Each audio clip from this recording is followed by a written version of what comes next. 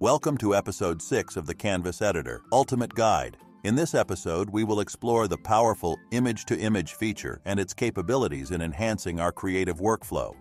We will also discover other functionalities like uploading images from Canvas to the profile using the board.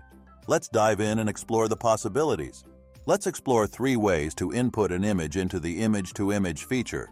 The first and most straightforward method is by clicking the plus button specifically designed for image-to-image, which will prompt you to select an image from your computer.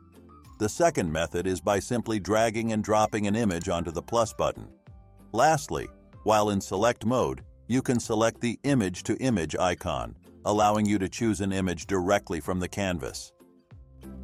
Now let's discuss the strength slider located below the image in the image-to-image feature.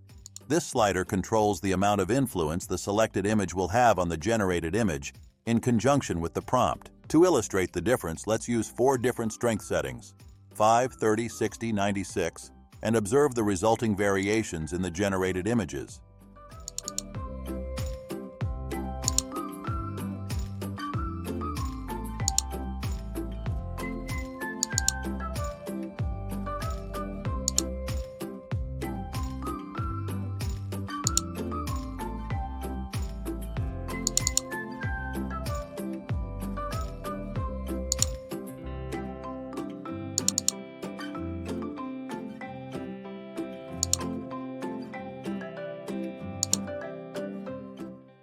As you can see, the higher the strength value, the stronger the influence of the selected image on the generated output.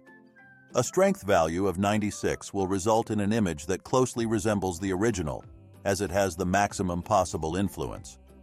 Lower strength values, such as 5 or 30, will produce variations that are less influenced by the selected image and more influenced by the prompt itself. It's important to adjust the strength according to the desired outcome and level of similarity to the original image. Sometimes you may want to create subtle variations in an image without making drastic changes. In such cases, using a higher strength value in the image-to-image -image feature can be helpful. By starting with a higher strength value and gradually adjusting it, you can explore different possibilities while maintaining some resemblance to the original image. Now, Let's talk about how to use the image-to-image -image feature to upload an image generated in Canvas to our profile. The first step is to download the image from Canvas. Once downloaded, go to the Board button and right-click on it. Select Open Link in a new tab to open the board in a new browser tab. Once in the board, access the image-to-image -image feature and upload the downloaded image. Copy and paste all the prompts, filters, and settings that were used in Canvas to ensure transparency in the generation process. Set the image strength to 96 and click Generate. This will generate the image in your profile. Before we wrap up this episode, let me quickly demonstrate a creative way of using the image-to-image feature. This technique is very simple. Input an image into the feature, start with an image strength of 30, and generate an image with a completely different prompt from the original. Let's take a look at three examples.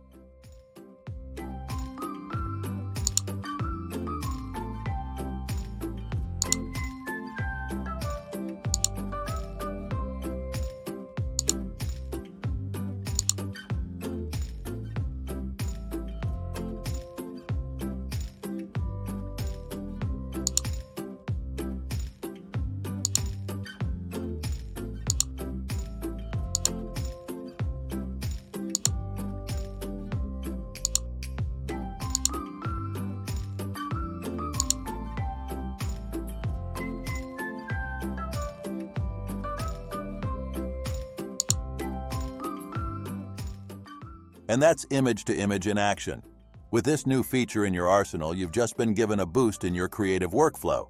See you in the next episode.